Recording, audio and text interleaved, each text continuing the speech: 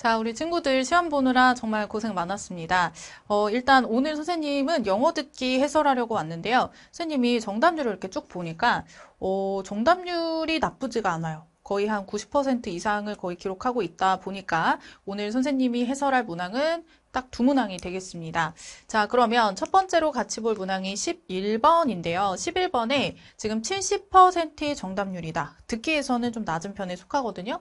유형으로 따졌을 때 마지막 말에 대한 여자의 응답인데, 자, 우리 마지막 말 중에서도 11, 12번은 짧은 대화문이거든. 총 3번의 대화로 끝이 나요. 그래서 여기서 집중 안 하고 딴짓 하다가 금방 끝납니다. 자, 정보가 적기 때문에 내가 한 번이라도 놓치게 되면 만회할 수 있는 구간이 없다. 그래서 훨씬 더 집중을 해줘야 되고, 그리고 11번부터는 이렇게 영어 선지로 시작이 되는 구간이죠. 그래서 영어 선지도 읽어야 되기 때문에 시간을 조금 확보를 하고 들어오셔야 됩니다. 자, 그러면 요거 다시 한번 들려드릴 테니까 듣고 문제 다시 한번 풀어볼게요. Rachel, I heard you got your student ID card reissued. Yeah, I lost my old one somewhere. So I went to the Student Services office and got a new one. Actually, I lost mine too, so I need to go there. Do I need to bring my photo for a new ID card? 자, 지금 마지막 말이 의문문으로 끝났죠.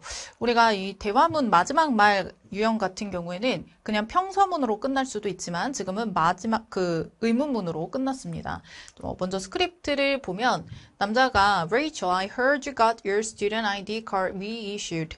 자, 여기서 reissue가 원래 issue는 발행하다라는 뜻이죠. 근데 reissue라 그랬으니까 재배, 재발행.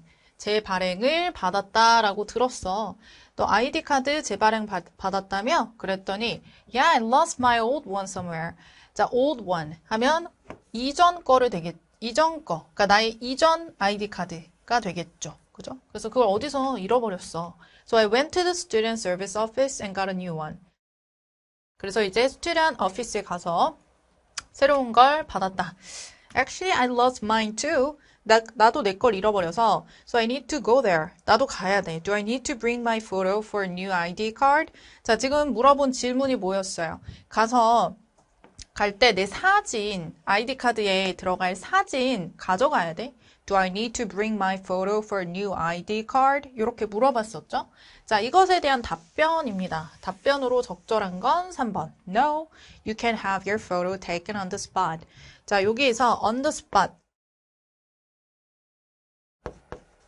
이게 현장에서라는 뜻이에요. 현장에서.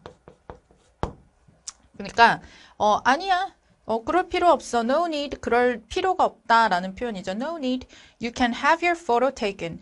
자, have photo taken이라고 하는 게 너의 사진이 찍힐 수 있다라는 표현으로 이렇게 쓰인 거고요. 그것을 어디에서 현장에서 찍힐 수 있다.